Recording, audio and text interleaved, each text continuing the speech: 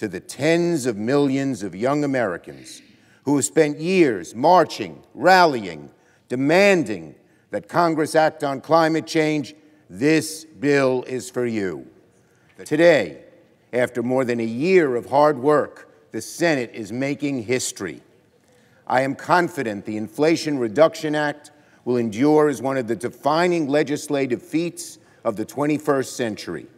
Our bill reduces inflation, lowers costs, creates millions of good paying jobs, and is the boldest climate package in U.S. history.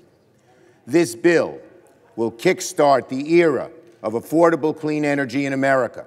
It's a game changer, it's a turning point, and it's been a long time in coming. To Americans who've lost faith that Congress can do big things, this bill is for you. To seniors who face the indignity of rationing medications or skipping them altogether, this bill is for you. On this vote,